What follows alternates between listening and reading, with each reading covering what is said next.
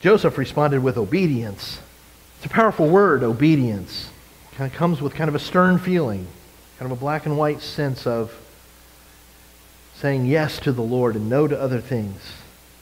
I never cease, though, to be blown away by Joseph and his character. His part in the story is very short. By page two of all of the Gospels, he's gone. Almost. He died early. He was much older than, than Mary. And by the time Jesus was seen in any capacity as an adult, Joseph's out of the picture. So his part in the story is short and brief, but the role that he played is huge. Taking on that role of accepting Mary, loving her, being the earthly daddy of the Son of God. Every Christmas, there's always a point when I ponder this conversation. And it blows me away, and it makes me just respect and appreciate Joseph more and more. When Mary came to him, came to him, they're betrothed, and she says, Honey, I'm pregnant. But don't worry, it's God's child. I know, it, it just, you can't help, but what do you do? You got to laugh. how do you respond to that? How do you really wrap around that? I mean, really, guys, put yourself in those shoes. Ladies, put yourselves in those shoes. How do you tell your fiance that? How, how do, you, how do you respond to that? That is mind blowing.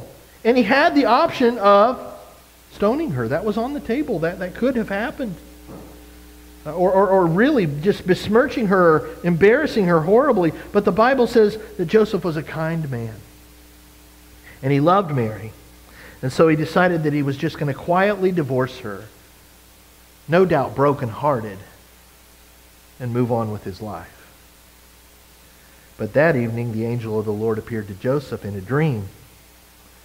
And the, and the angel said to Joseph, Don't be afraid to take Mary as your wife because what is conceived in her is indeed God's child. And he woke up after that dream and he said, Yes, Lord. He pisteuoed, he believed, and he responded with obedience. He took steps. He said, Yes, Lord, and he took Mary to be his wife. That was a bold step. I mean, you just got to understand the responsibility that, that Joseph took upon himself. Because we all know how the grapevine works, and we all know how the gossip train works. And we all know that that would have got out.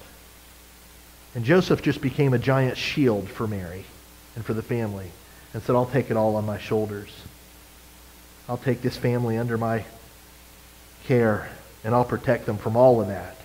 I'll protect her from all of that shame, and I will be her husband, and I will see this thing through with character and nobility. That's powerful.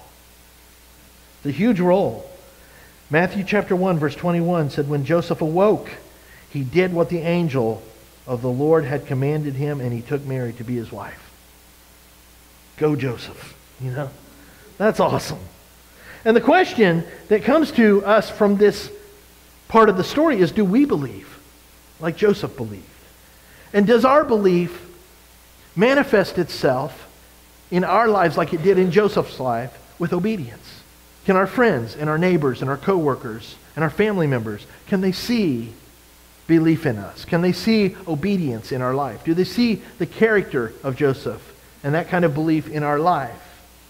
Do they see the kindness of Joseph in our life and our willingness to say, yes, whatever the ridicule is, I'll take it?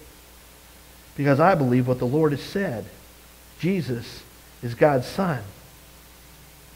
Joseph responded to the message of Christmas with obedience. And his example is an awesome example and challenge for all of us.